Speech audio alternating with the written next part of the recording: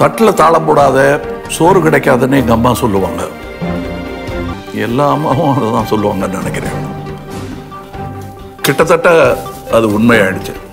நான் தட்டினது உங்கள் கவன ஈர்ப்புக்காகத்தான் மற்றபடி இது வேலைக்கு ஆகாது கவலைப்படாதீங்க. இது படம் பிடிக்கிற கேமராமேன் பன்னெண்டு அடி தூரத்தில் இருக்கார். மேட்ருக்கு வருவோம். கூட்டை அடைய பல மயிர்கற்களை நடந்தே கடக்கும் கால்கள். இதில் கவிதை என்ன பண்ணாங்கட்டு? மைக்ரண்ட் லேபர்ஸ் கூலி தொழிலாளர்கள் தன் சொந்த மாகாணத்திற்கு சென்றடைய கால்கெடுக்க நடந்து பசியால் சாவதை நாம் பார்த்து கொண்டிருக்கிறோம். நாள் கிழமை மறந்து இயங்கும் மருத்துவர்கள் செவிலியர்கள் துப்புரவு பணியாளர்கள் காவலர்கள். வீழ்ந்து கொண்டிருக்கும் பொருளாதாரம் சிதையும் வாழ்வாதாரம். அன்றாடம் காட்சிகள் பசியால் மரணம். நம் எல்லோருடைய அலட்சியம்.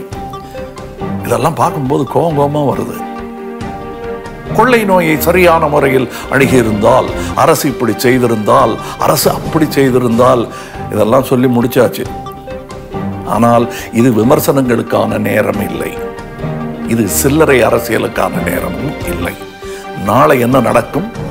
இன்று நாம் என்ன செய்ய வேண்டும் என்பதற்கான நேரம். ஆக்கப்பூர்வமான செயல்களுக்கான நேரம். இது நாமே தீர்வாகும் நேரம். கொரோனா வந்தா மரணம் தான் அப்படிங்கிற தவறான எண்ணத்தை தூக்கி எறிவோம். மனித குலத்தை தாக்கிய மற்ற நோய்கள் போல் இதையும் நாம் புரிஞ்சுக்கிட்டோம்னா வென்றிடலாம். வென்றிருக்கிறோம் அதனால் வெல்வோம். சென்னை நம் தமிழகத்தின் மருத்துவ வசதிக்கான தலைநகரம். அதை கொரோனாவுக்கான தலைநகரமாக நாம மாத்திரக்கூடாது. இதற்கான ஒரு புதிய முயற்சி தான் நாமே தீர்வு எனும் இயக்கம். இது ஒரு தனி மனித இயக்கம் அல்ல. நாம் அனைவரும் பங்கெடுக்கும் இயக்கம் பங்கெடுக்க வேண்டிய இயக்கம். இனி வரும் சில வாரங்களுக்கு ஜாதி மதம் இனம் மொழி கட்சி பேதங்களை மறந்து ஒரு கோட்டில் இணைவோம்.